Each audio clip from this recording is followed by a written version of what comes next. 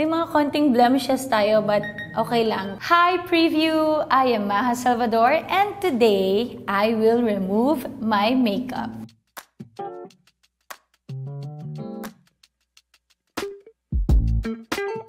So, ako, usually, facial wash talaga ako.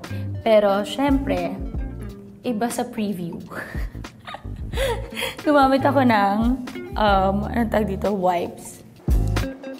So, sana isang wipes lang yung mga... Okay, guys, kumalat na siya. Pero okay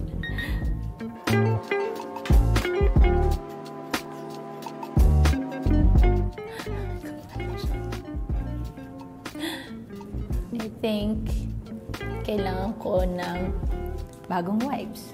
So, eto yung itsura ko ngayon, guys. Noong una, ibang video yung gustong gawin. But, nag-end up kami sa pagtanggal ng makeup. Dahil why not? Kung confident ka naman, gawin mo.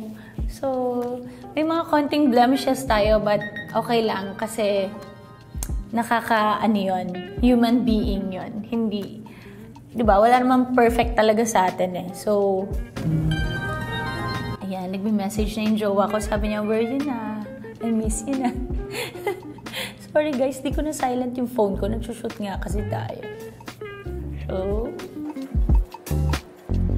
and sobrang um, lucky ko kasi may iba na sobrang nipis yung eyebrows. So ako, naswertihan po tayo guys because gifted. Gifted. And sa lahat ng mga, uh, baka may questions kayo na baka ang haba ng lashes ko or what. Um, ano siya, nagpalagay ako ng lashes recently because nag, um, may beach uh, trip kami. Tapos, lipstick. Ayan. Tapos, walang ganda to guys, pero tanggalin natin yung contacts.